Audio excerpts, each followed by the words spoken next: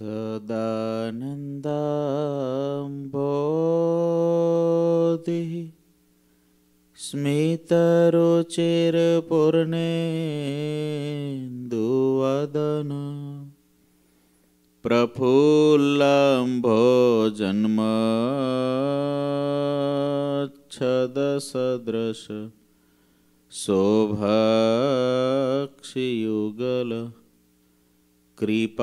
અપરાવાર શ્રીત સકલ જીવાતિ સુખદો મહાશ્રેયો મૂર્તિ. જયતિ સહી નારાયણ મુનિ. વર્ણિવે શર્મણીય દર્શનમ.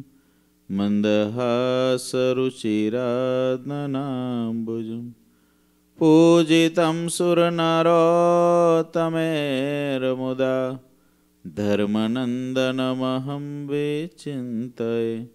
ઓમ અવતારીને શ્રી સ્વામિનારાયણાય નમો श्री ઓમ શ્રી नमः નમો श्रीहरिकृष्णाय ઓમ શ્રી પૂર્ણ પુરુષોત્તમાય નમો નમઃ. બોલો શ્રી સ્વામિનારાયણ ભગવાનની, શ્રી હરિકૃષ્ણ મહારાજની, શ્રી ગણશ્યામ મહારાજની જય. બધા ભક્તોને એથી જય સ્વામિનારાયણ. સદગુરુ નિષ્કુળાન સ્વામી હરિસ્મૃતિ ગ્રંથની અંદર ચિંતામણી છો, એમાં ભગવાનની મૂર્તિનું વર્ણન કરતા સ્વામી એમ લખે છે કે ભગવાનની મૂર્તિ સદાય સાકાર છે. એ ભગવાનની મૂર્તિ દ્વારા આદિમાં, મધ્યમાં અને અંતમાં બધાય સુખિયા થયા છે. મૂર્તિ વડે બધાની મોટપ છે. મૂર્તિની વાત જ્યારે આવે ત્યારે કોને તપસ્વી ગણવા કોને ધ્યાની ગણવા એવી મૂર્તિની મોટપ છે. સ્વામી, કે મૂર્તિને મેલીને જે મોટપને ઈચ્છે છે, એને વાત બધી બગડેલી જ છે. સુધરેલું છે મૂર્તિ વિનાનું તો પણ એ બગડેલું છે. ક્યારેય પણ આકાશના ફૂલની માળા ન થઈ શકે. છતાં પણ એની જે ઈચ્છા કરે, એને મૂરખ કહેવાય. એમ જગત માત્રની મોટાઈ. કીડીથી માંડીને ઠેક પ્રકૃતિ પુરુષ સુધીની મોટાઈ. એ બધી જ મોટાઈઓ દુઃખદાયક છે. આવું સ્વામીનું કહેવાનું છે. આશ્ચર્યની વાત એ છે, વિષયમાં દુઃખ છે, મોટાઈમાં દુઃખ છે, સન્માનમાં દુઃખ છે, સત્તામાં દુઃખ છે, છતાં પણ જીવ ધનમાં દુઃખ છે, સ્ત્રીમાં દુઃખ છે છતાં પણ જીવ સ્ત્રીમાં સુખ ખોળે છે, ધનમાં સુખ ખોળે છે, સત્તામાં સુખ ખોળે છે, મોટાઈમાં સુખ ખોળે છે, સન્માનમાં સુખને ખોળે છે. ખોળે છે નહીં, એમાં એ સમજે જ છે. સમજે છે એટલે ખોળે છે. આપણી કોઈ વસ્તુ ખોવાઈ હોય, આપણને આશા હોય કે આટલામાં ખોવાય છે, તો ખોળીએ ને. એમ એમાં સુખને ખોળે છે. ભગવાન અને મોટા મોટાની કલમ એવી છે, સ્ત્રીમાં સુખ છે જ નહીં. મહારાજ કે ચિત્રકેતુ રાજા કરોડ સ્ત્રીનો શા માટે ત્યાગ કરે જો સ્ત્રીમાં સુખ હોય તો? રાજ્યમાં સુખ હોય તો મોટા મોટા રાજાઓ રાજ્યનો ત્યાગ, ભરત જેવા રાજા રાજ્યનો ત્યાગ શા માટે કરે જો સત્તામાં સુખ હોય તો? આવું ભગવાન સ્વામિનારાયણે સ્વયં જ વચનામૃતમાં સમજાવવાનો પ્રયત્ન કર્યો છે. પાતાળ સુધી પૃથ્વી ફાટે તો પણ વિષય કરીને ક્યારેય તૃપ્ત થવાતું નથી આવા શ્રીજી મહારાજના મધ્યના સુડતાળીસના વચનો છે. પરંતુ જીવ જે જે ભગવાને દુઃખદાયક ગણાવ્યું છે ને, એનું ચિંતન મન કરતો નથી. શ્રવણ કરે છે. શ્રવણ કરે છે. વાણીથી બોલી પણ દે છે. પરંતુ શ્રવણ પછીનું મનન નથી કરતો. નિધિધ્યાસ નથી કરતો. એટલે જે ખરેખર દુઃખરૂપ છે, એનો એને સાક્ષાત્કાર થતો નથી. એના દુઃખરૂપનો સાક્ષાત્કાર નથી થતો એટલે ભગવાન સંપૂર્ણ સુખરૂપ છે, એનો સાક્ષાત્કાર પણ થતો નથી. કારણ કે દુઃખરૂપનો સાક્ષાત્કાર થાય તો સુખરૂપનો સાક્ષાત્કાર થાય. દુઃખના અંતને પામી જાય તો સુખના પ્રારંભને અનુભવી જાય. આધ્યાત્મિક માર્ગમાં એમ છે, દુઃખના અંતને જે વિચાર દ્વારા પામી જાય ને, એને વિચાર દ્વારા ભગવાનના સુખના પ્રારંભની અંદર પ્રવેશ થઈ જાય. અને એવા પ્રવેશ કર્યા પછી અનંત અનંત કાળ પછી એમાં એ પ્રવેશેલો સુખીઓ અખંડ રહે. પણ જીવ એવો કોઈ વિચાર કરતો નથી. કારણ કે એમાં એવું સુખ જન્મો જન્મનું અનુભવાયું છે કે સત્સંગ કરવા છતાં, વાત કરવા છતાં, વાત સાંભળવા છતાં એના દુઃખનો વિચાર કરવો એ તરફની એની વૃત્તિ લાગતી નથી. એટલે સ્વામી કે છે, મૂર્ખ છે મૂર્ખ છે. એની જે ઈચ્છા કરે છે, આકાશના પુષ્પની માળાની, એ મૂર્ખ છે. આગળ સ્વામી લખે છે તેમ મૂર્તિ તમારી મેલી સુખકારીજી. સુખ સાટે મળશે સેલી સુખકારીજી. તેમ મૂર્તિ તમારી મેલી સુખકારીજી. સુખ સાટે મળશે સેલી સુખકારીજી. તમે જનના સુખને કાજ સુખકારીજી તમે જનના સુખને કાજ સુખકારીજી સદા સાકાર છો મહારાજ સુખકારીજી સદા સાકાર છો મહારાજ સુખકારીજી એમ પ્રભુ, તમારી મૂર્તિને મેલીને જે સુખને ઈચ્છે છે એને અહીં સ્વામી કે છે, સુખ સાટે મળશે શેલી શેલી એટલે રાખ. સુખની આગળ સુખ ગોતવા જશે તો એને રાખ હાથમાં આવવાની છે, પણ સુખ આવવાનું નથી. તમે વિચારો, દરેકને જ્યારે જ્યારે જેમાં જેમાં સુખ ગોતવા ગયા છે, ત્યારે એના હાથમાં રાખ જ આવી છે. સ્ત્રીમાં સુખ. માની લો, સ્ત્રીમાં સુખ. તો ગમે એવી રૂપવંતી સ્ત્રી હોય, પરંતુ જેને એમાં હેત હોય, એમાં સુખ માનેલું હોય, ગુણ્યલ હોય, એમાં સુખ માનેલું હોય, તો વ્યક્તિના હાથમાં વર્ષો પછી એ સ્ત્રીનું શું આવવાનું સાથમાં? રાખ આવવાની છે. રાખ જ આવે ને? પછી એ જેવી રૂપવંતી દેખાતી હોય, એ જેવી ગુણવંતી દેખાતી હોય અનુભવાતી હોય, એ રાખમાં અનુભવ થાય. ખરેખર એ રાખ જ છે. સ્ત્રીને પુરુષમાં ગમે એટલું સુખ મનાતું હોય, પણ હાથમાં અંતે શું આવવાનું છે? રાખ. જેની દ્રષ્ટિ ત્યાં પહોંચી નથી, એને એમાં સુખ જ મનાવાનું છે. સુખ જ. કોઈના હાથમાં ગમે એટલી મોટી સત્તાઓ હોય, આજે અમુક અમુક જંગલોના મધ્યે એવા મોટા મોટા સિટી નીકળે છે. વર્ષો પહેલાં ત્યાં એવા મોટા સિટી હશે. અને એવા એવા મોટા ઘાટા જંગલોમાં કે જ્યાં કોઈ પહોંચી જ ના શકે, એવી જગ્યાએ મોટા મોટા સિટી ક્યારેક મળી આવે છે. તો એક વખતની જાહો જહાલી એની કેવી હશે? ત્યાં આગળ રહેવાવાળા પણ કેવા હશે? આપણે આજે એવું જૂનું જૂનું કંઈક મળી આવે ને, તો આજનું સાયન્સ ગોતે, તો એ કેટલા વર્ષો જૂનું હોય, પણ આખું આમ જાણે શહેર વસાયેલું હોય, પછી આ લોકો અનુમાની તેના અભ્યાસુ હોય, એ લોકો અનુમાનથી કરે કે આવા બિલ્ડિંગો હશે, આવું હશે આવું હશે. એટી ટ્વેન્ટી હોય, પણ હાવ ખોટું ના હોય એનું અનુમાન. ભણેલા ગણેલા વ્યક્તિઓ છે. એની પાછળ રાત દિવસ અભ્યાસ કરવાવાળા છે. પણ એ આખરે થયું શું? જાહો જહાલી હતી એ થયું શું? રાખ. આજ જે કાંઈ ઝાકમ જોડ દેખાય છે, એ કાલે થવાની છે રાખ. મોટા મોટા મેલોના પુરાતત્વના અવશેષો આજે પણ ભારતમાં, નેપાળમાં ડગલા બંધ છે. એવા મોટા મોટા રાજાઓ થયા છે. અને એ રાજાઓની ઇતિહાસો વાંચવામાં આવે તો જેની હાક વાગતી, સોનાના થાંભલાઓ ઊભા કરી શકે એવા રાજાઓ, એના મેલો ખંડેર પડ્યા છે. અને એની અંદર વેલો ને ઝાડો ને બધું ઉગી ગયેલું છે, અંદર ઉંદર ને સર્પ ને એવું રહે છે ચામા ચીડિયાઓ રહે છે. બોલો.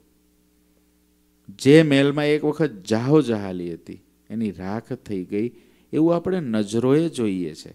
એના ઇતિહાસો વાંચતા એનો સુવર્ણકાળ લખાયો છે અને પ્રત્યક્ષ જોતા રાખ અને ધૂળ દેખાય છે. આવું જોવા છતાં આવું અનુભવવા છતાં, શાસ્ત્રોને પોકારવા છતાં, જીવ શા માટે પોતામાં માલ માનીને કંઈક ફરે છે? શા માટે જીવ સત્તા માટે, સંપત્તિ માટે રાત ને દિવસ તલપે છે? તમારી પાસે પચાસ વીઘા જમીન આવવાની હોય અને કદાચ ચાલીસ વીઘા આવી ગઈ, તમે વિદેશમાં આવીને સેટ થઈ ગયા છો, નથી તમે ખેડવા જવાના, નથી તમે ત્યાં જઈને કંઈ વાવવાના નથી તમારા છોકરા જવાના. એની કદાચ તમે ભાગે કે દાને એને જમીન આપો અને એના પાંચ હજાર રૂપિયા વીઘે આવતા હોય, તો દસ વીઘાના ઓછા આવે ને પચાસ હજાર ઓછા આવે તો નથી તમારું અમેરિકામાં કાંઈ મકાન બની જવાનું કે નથી ઇન્ડિયામાં ઘર તૂટી જવાનું. પણ એ દસ વીઘા જમીન ઓછી આવી હોય, ભાઈઓ તરફથી આવી હોય, મિત્રો તરફથી આવી હોય, એક્સ વાય ઝેડ તરફથી આવી હોય, પણ એની માટે તમારા હૃદયમાં ઉદ્વેગ કેટલો હોય છે? તમે ગ્રહસ્થ આશ્રમમાં છો એટલે તમને એની વધારે ખબર પડે. કેટલો ઉદ્વેગ હોય? બે વીઘા જમીન ઓછી આવી હોય. હવે એ તો અહીંથી ખેતી કરવા જવાનો નથી, ને દાન જ દીધી હોય. તો આવવાનું હોય દાન, તો બે વીઘાનું આવી આવીને કંઈક કરોડો રૂપિયાનું દાન આવે છે? બે વીઘા ઓછી આવી હોય કે કોઈ કંઈક ત્યાં શેઢો દબાવ્યો હોય, એના ભાઈએ થોડી ઘણી આડોડાઈ કરીને લઈ લીધી હોય, તો આવી આવીને એની શું કિંમત એને વેચી દો, તો કદાચ આવી ગયા, હાલો, એક હારે દહ લાખ રૂપિયા આવ્યા. તોય એનાથી કેટલુંક કામ થઈ જશે. પણ એની રાત ને દિવસ બળતરા કરવામાં જિંદગીની આયુષ્ય ખોઈ બેસે. ઉંમરના આયુષ ભગવાને દીધી એનાથી ઓછી થઈ જાય. એના કરતાં વિચારે, મારા પ્રારંભમાં હતું એટલું મળ્યું. ઘણા લોકો નથી ને આ રૂપિયા આપે. ઇન્ડિયામાં રૂપિયા આપે સંબંધીને કે આ સાચવજો ફિક્સો મુકાવે. રૂપિયા સાચવજો તે ફિક્સો બિક્સો અહીંથી જાય ને ખાલી પેપર પર જ હોય. કોપી જ પડી હોય, બાકી ફિક્સ વપરાઈ ગઈ હોય. વપરાઈ ગઈ હોય. હવે શું ઉદ્વેગ કરીને કરવાનું? હવે ઉદ્વેગ કરીને કરે કે ઝઘડો કરવા જાય, તો કશું એમાં પરિણામ આવવાનું નથી. સમજવાનું, ગયા જન્મનું બાકી હતું. ત્યાં ભાઈ રૂપે, હાડા રૂપે, બનેવી રૂપે, મિત્ર રૂપે, જે કોઈ રૂપે આવીને લઈ ગયો. સેજ પ્રયત્ન કરી લેવો. પ્રયત્ન કર્યા પછી લાગે કે આમાં માલ નથી, તો એનો ઉદ્વેગ કરવો. સમજવાનું, રાખ હતી હાચવા દીધી હતી. ગયા જન્મની આટલી રાખ આપવાની બાકી હતી. આ જન્મમાં ચૂકવી દીધી. ભગવાનના ભગતની આવી સમજણ હોય. બાકી જે વ્યવહાર છે, જેમ ચાલતો હોય, જેમ ચાલે છે, એમ કરવો જોઈએ. કરતાં પહેલાં વિચાર પણ કરવો જોઈએ. પરંતુ આપણી પાસે કંઈક એવા વિચારને આપણે પામેલા હોવા જોઈએ કે જે દિવસે આપણે પાસેથી કોઈ વસ્તુ ભગવાનની ઈચ્છાથી જતી રહી, તો આપણને એમ ના લાગે મારું કંઈ જતું રહ્યું છે.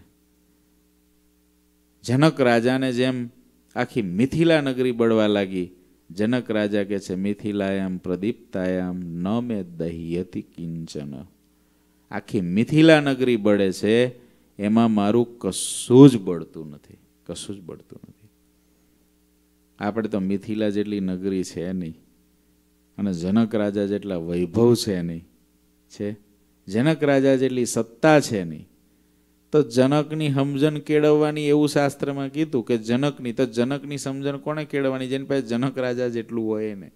આપણે જનક રાજા જેટલું છે જ નહીં. એના કરોડમાં ભાગની સમજણ કેળવી લે, તો સુખી થઈ જાય.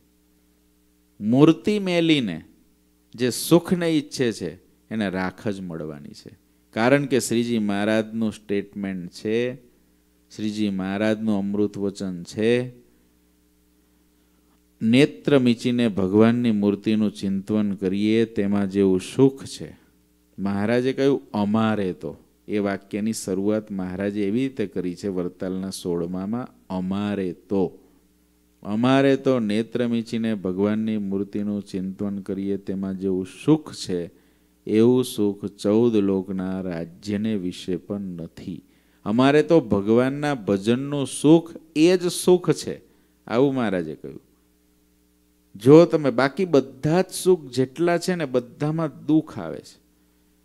કોઈ સત્તા ભોગવી દુઃખ, કારણ કે સત્તા એની રોજ રહેવાની નથી. સત્તા પરિવર્તનશીલ છે. આજે આની સત્તા હોય, કાલ બીજાની સત્તા હોય. સત્તા પરિવર્તનશીલ હોવાના કારણે સત્તામાં આસક્ત થયેલો, જ્યાં સુધી સત્તા છે, ત્યાં સુધી અતિ સુખી, અતિ રૂઆબમાં, અતિ બળમાં, અતિ તાકાતવાળો, અતિ હમજુ, અતિ ડાયો દેખાશે. પણ જ્યારે સત્તા એના હાથમાંથી જશે, ત્યારે અતિ ગાંડો, અતિ મૂરખ અને અતિ નીચ દેખાશે. કારણ કે એને એમાં આસક્તિ છે, એટલે એને મેળવવા માટે શું નહીં કરે. એવું આપણને જગતમાં દેખાય છે. જેના હાથમાં સંપત્તિ છે, સંપત્તિ એને ધારી એવી બધી આવી, ધાર્યું એવું બધું થયું, એટલે બહુ ડાયો, સાનો, બુદ્ધિવાળો બધી રીતે દેખાય. પણ જેવી સંપત્તિ જો ગઈ તો એની આસક્તિ હોય, જેના કારણે એ મૂર્ખની જેમ વર્તવા લાગે. આખરે દુઃખ. કોઈ વસ્તુ એવી નથી જેમાં સુખ. કારણ કે પરિવર્તનશીલ છે. સંપત્તિ આ જોઈને કાલ ના હોય. આપણે જોયું જોયું છે એવું કે કેટલાકને બે પેઢી પહેલાં કશું ના હોય ને ત્રીજી પેઢીએ જાહો જહાલી થઈ જાય. તો ત્રીજી ચોથી પેઢી જાહો જહાલી રહે ને પાંચમી પેઢી અન્નદાતને વેર થઈ જાય. આવું આપણને દેખાય છે સમાજની અંદર. તો એવું થયું ત્યારે દુઃખ આવી ગયું. સંપત્તિ છેવટે દુઃખ, સત્તા છેવટે દુઃખ, પરિવર્તનશીલ છે. સ્ત્રી અને પુરુષ પરિવર્તનશીલ છે. એમાં પણ છેવટે દુઃખ. બધામાં છેવટે દુઃખ. મોટપ. તો આજ આપણી મોટપ હોય ને કાલ નાઈ હોય. કાલ બીજાની મોટપ હોય. કારણ કે આ જગતની અંદર તો બધા એની પાછળ દોડે છે. તમારાથી શ્રેષ્ઠ કાલ કોઈ થઈ જ જવાનો છે. એમાં કોઈ પ્રશ્ન નથી. કોઈને પૂછવા જ નહીં જવાનું, નહીં થાય થઈ જ જવાનો. કારણ કે એ હરીફાઈનો માર્ગ છે, એટલે ત્યાં થવાના જ. એટલે એ પરિવર્તનશીલ છે. એ પરિવર્તનશીલ છે, મોટપ પરિવર્તનશીલ છે. પરિવર્તનશીલ હોવાના કારણે જગતની મોટપ, ભગવાનની મોટપ નહીં. જે ભગવાનને વિશે આજ્ઞા, ઉપાસના, ભગવાનની મૂર્તિ, ધર્મ, જ્ઞાન, ભક્તિ વૈરાગ્યને એકાંતિક ધર્મથી મળેલી મોટપ, એ તો સ્થાયી મોટપ છે. એ કોઈ દી બદલાતી નથી. ક્યારેય બદલાતી નથી. પણ વ્યવહારિક મોટપો છે ને, એ તો હવાર હોય ને હાંજે ઉડી જાય. એની કોઈ ગેરંટી નથી. એ પરિવર્તનશીલ છે. એ જતી રહેશે. હવે એના જ બેઝ ઉપર આપણે ડાયા દેખાતા હોઈએ સાના દેખાતા હોઈએ બુદ્ધિવાળા દેખાતા હોઈએ સમજુ દેખાતા હોઈએ પણ એ ગઈ. એટલે મહારાજ કે નારાયણદાસની પાસે ચાળા ચૂથવા માંડે. એવું થાય. એમાં દુઃખ છે. પણ સુખ શામાં છે? તો કે ભગવાનનું ભજનનું સુખ એ જ સુખ છે આવું ભગવાન શ્રી હરિનું વચન છે. આપણે ગમે તે જે કરવું ઘટે આપણી ફરજમાં આવે, ભગવાનને કરાવવું હોય એ ચોક્કસ કરીએ, પરંતુ નજર મહારાજના વચન ઉપર રાખીએ, અમારે તો ભગવાનના ભજનનું સુખ એ જ સુખ છે, બાકી સુખ છે જ નહીં. એક ભગવાનના ભજનનું સુખ એવું છે કે એમાં કોઈ દી પશ્ચાતાપ ના થાય. એ પરિવર્તનશીલ નથી. એ સ્થિર છે. ભગવાનની મૂર્તિમાં જેને હેત થયું, એ પરિવર્તનશીલ નથી, સ્થિર છે. એકવાર ભગવાનની મૂર્તિમાં ચોટ્યો, એ પરિવર્તનશીલ નથી, સ્થિર છે, સ્થાયી છે, શાશ્વત છે, સદાય સુખદાયી છે. પડે પડે સુખદાયી છે. ન, પડે પડે નવું ને નવું સુખ જેમાં છે એવા એક પરમાત્માના ભજનનું સુખ છે. પરમાત્માને વહાલા એકાંતિક સંત ભક્તના સંગમાં સુખ છે. બાકી કોઈ જગ્યાએ નવું નવું સુખ નથી. બાકી બધે જૂનું છે. એ પછી ગમે એવું સુખ હોય તોય જૂનું છે. એ બહુ પછી એ સુખમાં માલ ના મળે. ગમે એવું ભાવતું હોય, પણ ગળા સુધી જમો પછી? પછી ના ભાવે. અને ભગવાનના ભજનનું સુખ તો એવું છે, નવું નવું આવ્યા જ કરે. નવું નવું આવે. આપણને નથું, નથી અનુભવાતું. એની કારણ એ છે કે આપણે જેટલા બીજે આસક્ત છે એટલા એમાં આસક્ત નથી થયા. એટલે એવું થાય છે. એમાં જો આસક્ત થઈ જઈએ તો નવું નવું જ લાગે. અને રોજ નવું નવું લાગે ને તો જ સત્સંગમાં મજા આવે. જૂનું થઈ જાય તો શું મજા આવે? રોજ નવું લાગવું જોઈએ તો મજા આવે ને? આ તમને રોજ નવી કથા લાગે નોટ પેન લઈને લખો ને. પણ રોજ એકનું એક જ ચરિત્ર ને એકની એક જ પ્રકરણ હાલે ને તો બે દી પછી નોટ પેન તમે મૂકી દો. કારણ હવે રોજ કે આ એકનું એક જ છે, હું એમાં? એવું. પણ ઘણાકને એવું થાય કે આ રોજ એકનું એક જ છે, જન્મ મરણથી રહિત થવું ભગવાન ભજવા, બસ એ જ. કથામાં શું બીજું આવવાનું? કથા કોઈ પણ કથા થતી હોય, વર્ષો પહેલાંની સાંભળો, વર્તમાનની સાંભળો, ભવિષ્યમાં સાંભળો, કથા શું કે આ લોક ખોટો છે ને ભગવાન સાચા છે, ભગવાનને મોડો બોલો. તે આટલા વર્ષોથી સાંભળવા છતાંય પાકું નથી થતું જીવને. બધા જીવને આટલી વાત સાંભળવા છતાં બધાને પાકું નથી થતું. આમાં દુઃખ જ છે, એવું સાંભળવા, બોલવા છતાં પણ એ પાક્કું થઈ જતું કેટલું અઘરું લેસન હશે? કેટલું અઘરું લેસન? બોલો, કેટલીક પરીક્ષા એવી છે. તમને બુક લઈને બેસવાની છૂટ. તમારે બુક લઈને બેસવાનું પરીક્ષામાં. તોય પરીક્ષા ના લખી શકો. બુક સહિત બેહો ને ઓનલાઈન ઘેર બેઠા પરીક્ષા આપવાની હોય તો બુક તો હોય જ. બુક લઈને બેસો તોય પરીક્ષાની અંદર રિઝલ્ટ ના આવે. એ કેવી પરીક્ષા હોય. એમ છે ને, આ સત્સંગની પરીક્ષા એવી જ છે. બુક સહિત બેહો, પેપર લખવા, હાલો. બુક આપી દીધી કે, અને ભારે ભારે વચનામૃત નિષ્કોણ કે બધું દીધું, હાલો. લખવા મળો જીવનનું પેપર. તોય બધા પાસ થતા. અરે રોજ ક્લાસ એવરી ડે હવાર હાંજ ક્લાસ, બોલો. તોય બધા પાસ થતા. રોજ ક્લાસ કરાવો કોઈને તમે, પચાસ વર્ષ સાઠ વર્ષ સિત્તેર વર્ષ ક્લાસ કરાવો. નિષ્કુળન કાવ્યના ક્લાસ, વચનામૃતના ક્લાસ, હરિજન સાગરના ક્લાસ, આ બધા ક્લાસ છે આપણા. બોલો. તોય આપણે પાસ થઈ શકીએ. અને ધ્યાન ના રાખીએ તો ભણાવવાવાળા પાસ ના થાય. આ તો એવી સ્કૂલ છે. આ તો એવી સ્કૂલ છે ભણાવવાવાળા હોય ને એ પાસ ના થાય. એવી સ્કૂલ છે. કેવું આશ્ચર્ય છે. ભગવાને એવું રચ્યું છે. પણ એની પાછળ રાત દિવસ જો આ વાતો, મોટા સંતોની વાતો, મોટા સદગુરુની વાતો, એને જો આપણે મનન કર્યા કરીએ, ચિંતન કર્યા કરીએ નિધિધ્યાસ કર્યા કરીએ. મારામાં કઈ જગ્યાએ કસર છે? ટાળવી છે ટાળવી છે ટાળવી છે. તો ટળે. તો ટળે.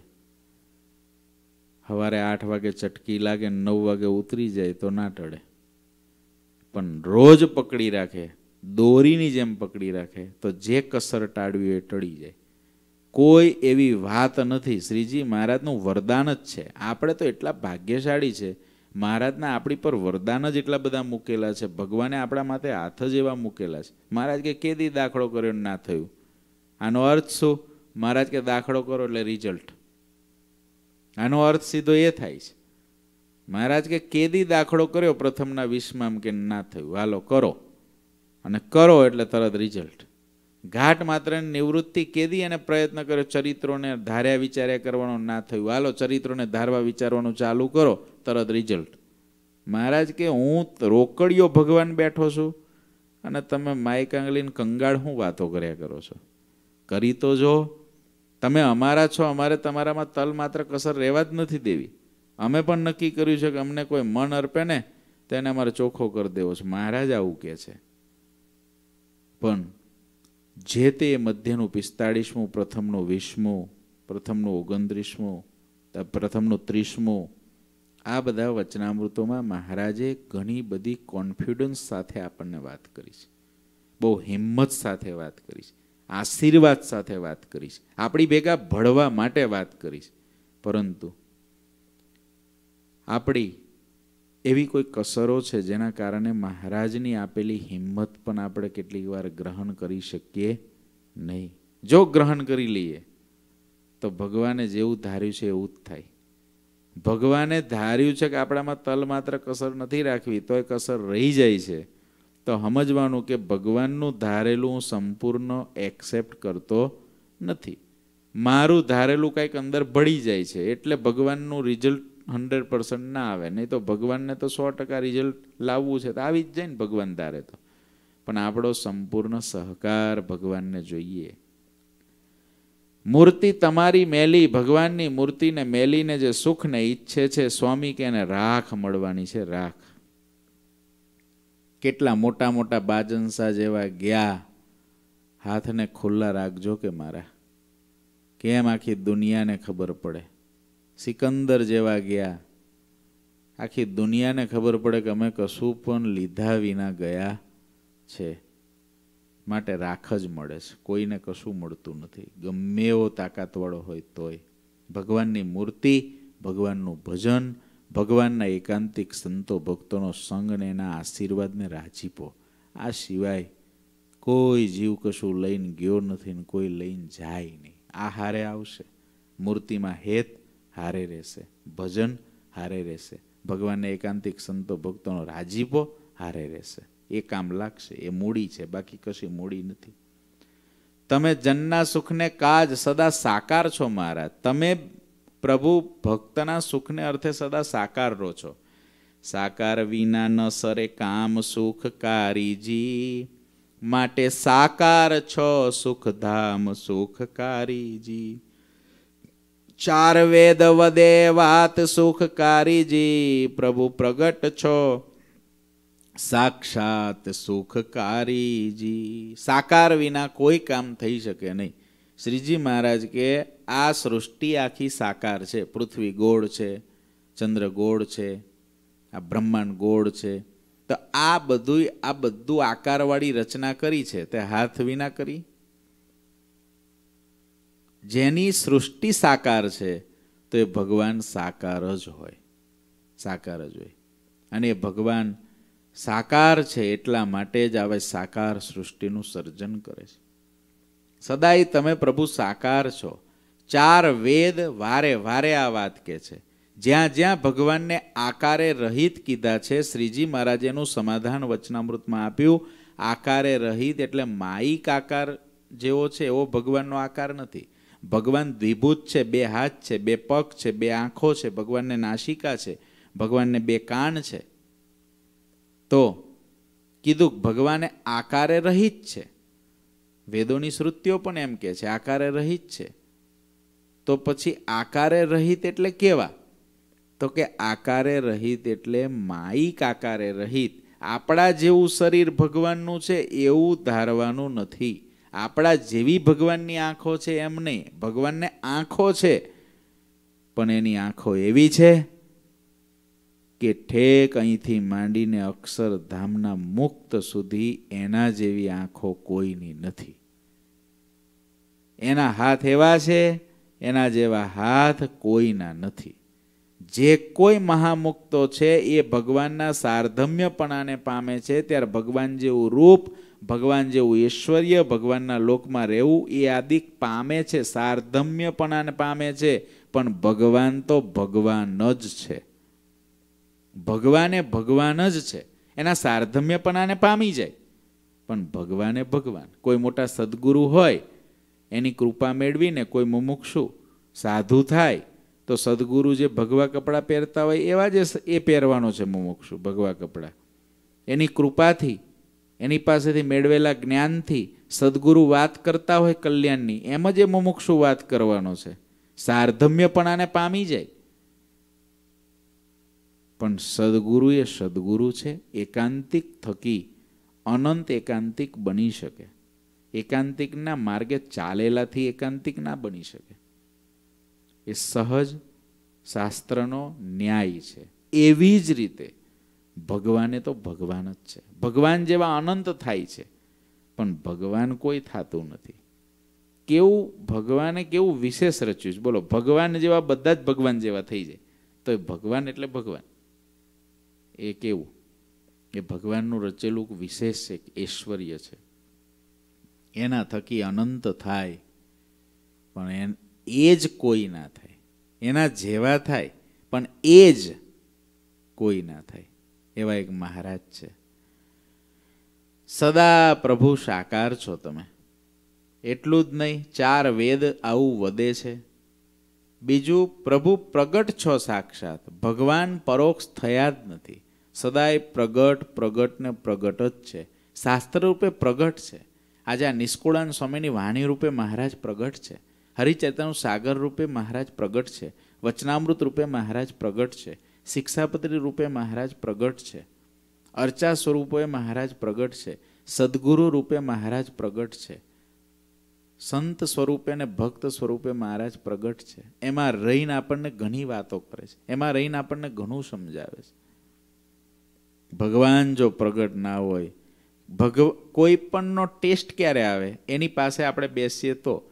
આપણે આઈસ્ક્રીમ જીભ ઉપર મૂકીએ તો આઈસ્ક્રીમનું સુખ આવે ને? તાઢું લાગે, ગળ્યું લાગે, સરસ લાગે, તો લાગે ને? ચોકલેટનું દૂધ જોતું હોય ને પીએ, તો ચોકલેટનું દૂધ મોઢામાં જાય તો સારું લાગે ને? કે આમ દૂર ગ્લાસ પડ્યો હોય તો સરસ લાગે? મોઢામાં જાય તો સારું લાગે. હા, નજીક જઈએ તો થોડી સુગંધ આવે તો સારું તો લાગે. ઘણી વખત સુગંધથી નથી સારું લાગતું.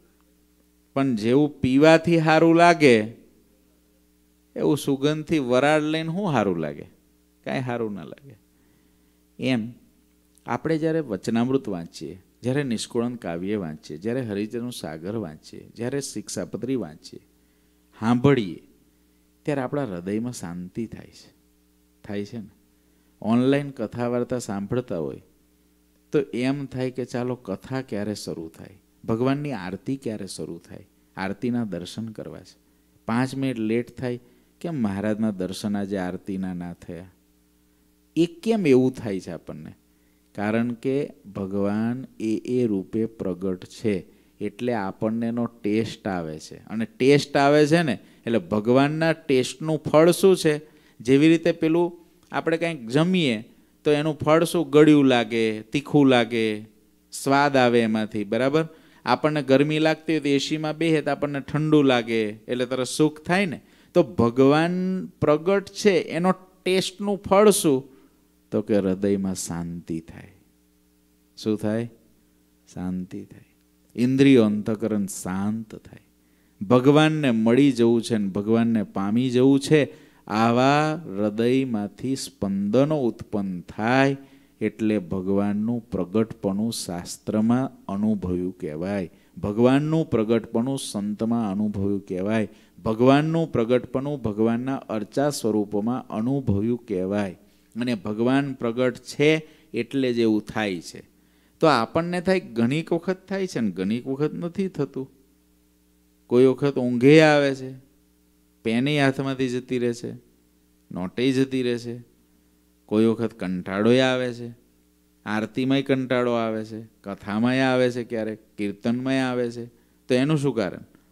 તો ત્યારે ભગવાન પ્રગટ નથી, ના, ભગવાન પ્રગટ જ છે, પણ ત્યારે આપણે પ્રગટ નથી ત્યાં આપણે ક્યાંક બીજે પ્રગટ થયા છે. આપણે રહ્યા છે અહીં, પણ પ્રગટ ક્યાંક બીજે થયા છે. આળસ આવી છે તો ઊંઘમાં પ્રગટ છીએ આપણે. પ્રગટ ને પ્રગટનો મેળાપ થાય, ભગવાન પ્રગટ હોય અને આપણે પ્રગટ હોય ત્યાં, તો મેળાપ હરખો થાય. પણ ભગવાન પ્રગટ છે, કથા રૂપે, કીર્તન રૂપે, પોતાના દર્શન રૂપે, સદગુરુ રૂપે, બધી રીતે પ્રગટ છે. પણ આપણામાં તમોગુણ વ્યાપેલો છે, એટલે આપણે પ્રગટ તમોગુણમાં છીએ.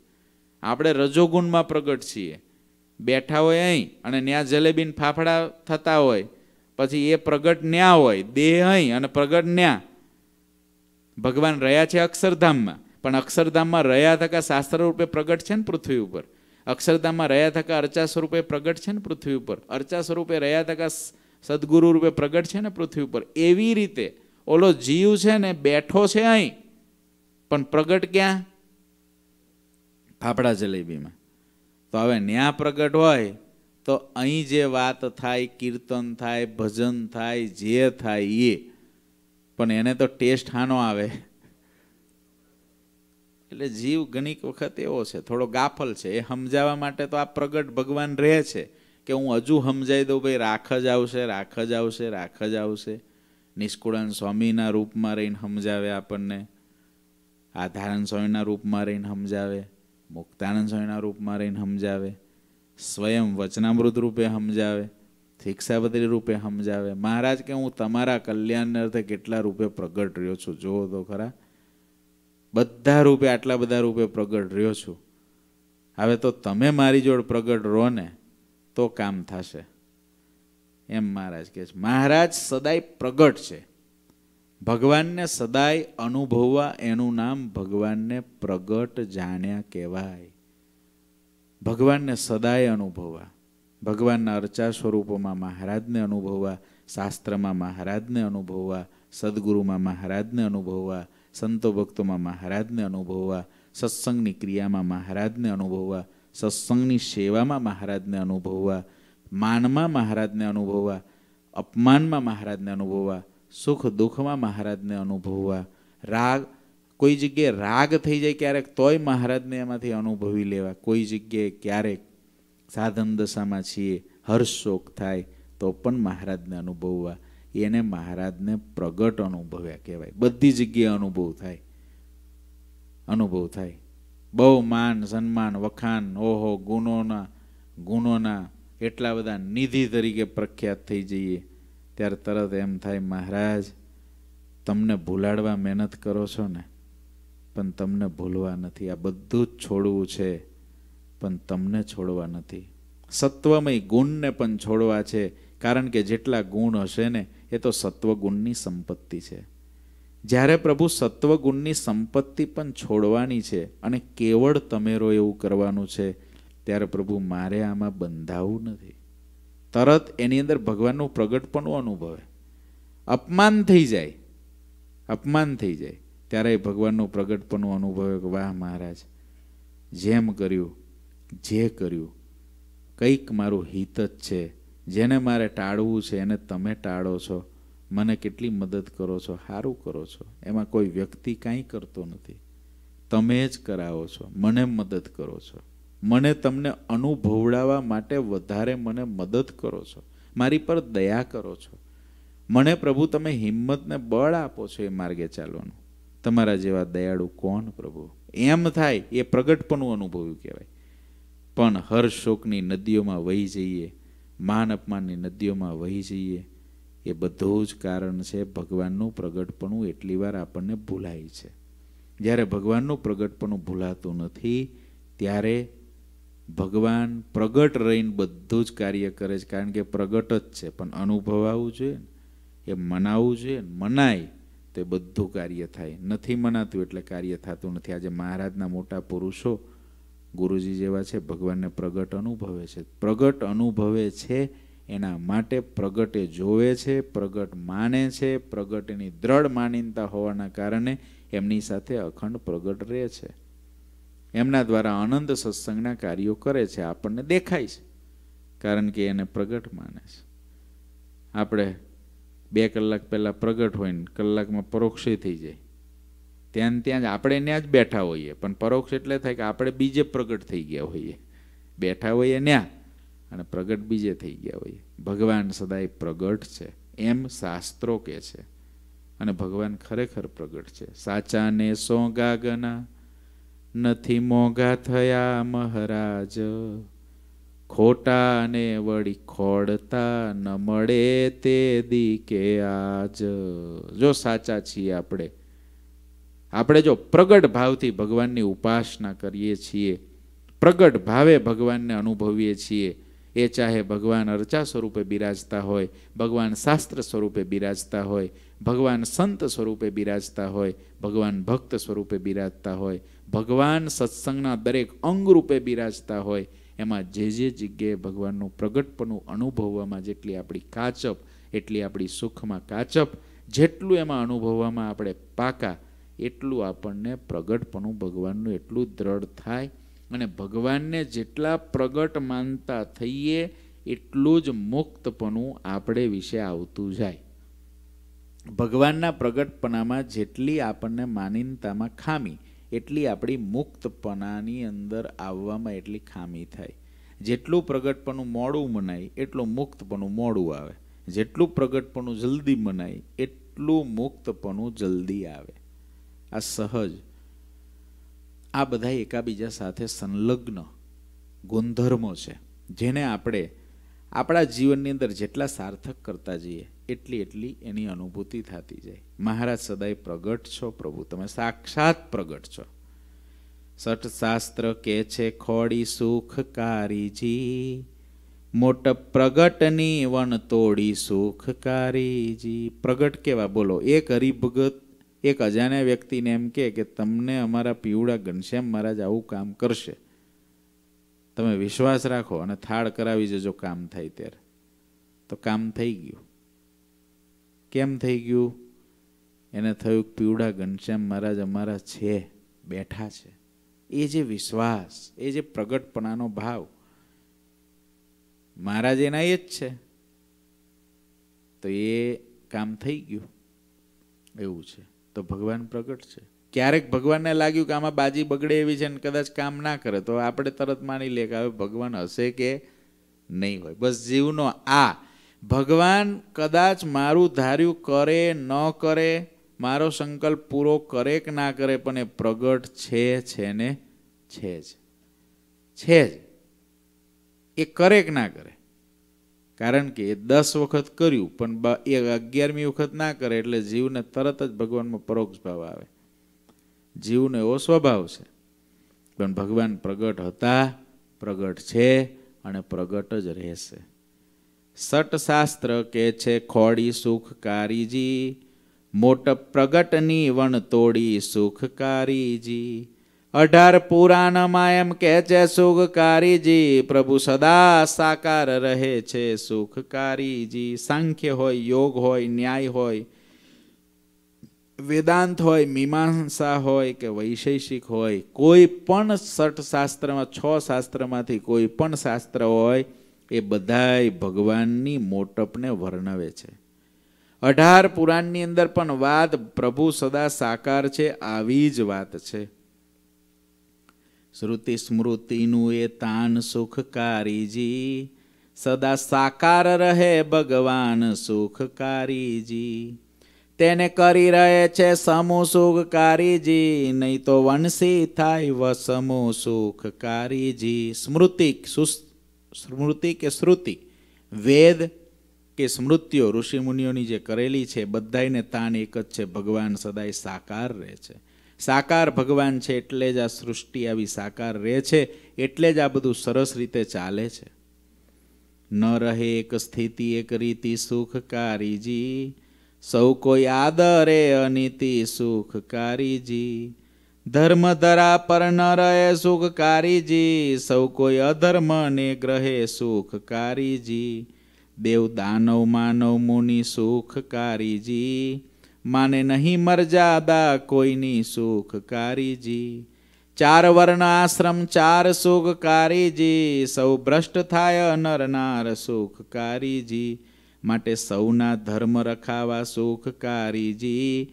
તમે રહો આવા ને આવા સુખકારીજી. અધર્મ ઉથા ધર્મ થાપો સુખકારીજી. તમે હરિજનને સુખ આપો સુખકારીજી.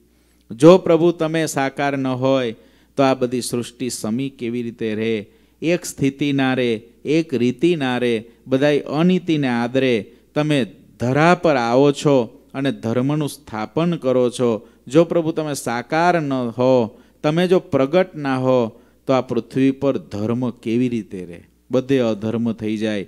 દેવ, દાનવ, માનવ ને મુનિયો એ કોઈ ક્યારેય કોઈની મર્યાદામાં રહે નહીં. પણ પ્રભુ ચાર વર્ણને ચાર આશ્રમ, એ બધા ભ્રષ્ટ થઈ જાય, એની જગ્યાએ બધું ધર્મની અંદર ચાલી રહ્યું છે. એ તમે જે જે પૃથ્વી પર, આખી પૃથ્વી ભલે ધર્મવાળી નથી, પણ પૃથ્વી પર અમુક સમુદાયો આખા ધર્મ પ્રધાન છે. એની પાછળનું કારણ એ છે કે પ્રભુ, આપ આ પૃથ્વી પર પધારો છો, આપ સદાય પ્રગટ રહો છો.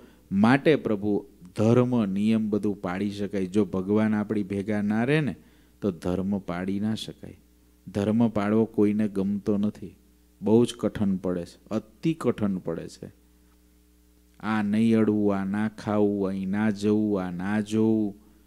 ચોરી ના કરવી, વ્યભિચાર ના કરવો, માંસ ના ખાવું, બહુ કઠણ પડે છે. ધર્મ પાડવો આપણને લાગે કે આપણને થાવ હેલું લાગ્યું. એ આપણને સહેલું એટલે પડે છે કે ભગવાનની આપણી પર કૃપા છે. સદગુરુની આપણી ઉપર કૃપા છે એટલે આપણે ધર્મને સહજતાથી પાળી શકીએ છીએ બાકી જગતના જીવને નથી ગમતું. નથી ગમતું ને આપણે પણ જે દિવસે જગતના જીવ હતા, માયાના જીવ હતા, તે દિવસે કેટલી તકલીફ પડતી. અહીં ભક્તોએ બધાએ પોતાના મંતવ્ય ગુરુજીની વિદાય સભામાં આપ્યા ત્યારે કેવું કેવું કીધું હતું કે અમારે પહેલાં કેવી ટેવ હતી? કોઈને પિક્ચરનું ગીત સાંભળવાની ટેવ? કોઈને ત્રણ ચાર દિવસે નાહવાની ટેવ. આ બધી ટેવો હતી, કુટેવો. એવી કુટેવ જે હતી, એ બધી નીકળી ગઈ, શાણાથી નીકળી ગઈ. ભગવાન અને સદગુરુની કૃપાથી નીકળી ગઈ. એની કૃપા થઈ. એ ભેગા રહેવા લાગ્યા તો ધર્મ પાળવાની અંદર અઘરું ના લાગ્યું. ધર્મ સહેજે પડવા લાગ્યો.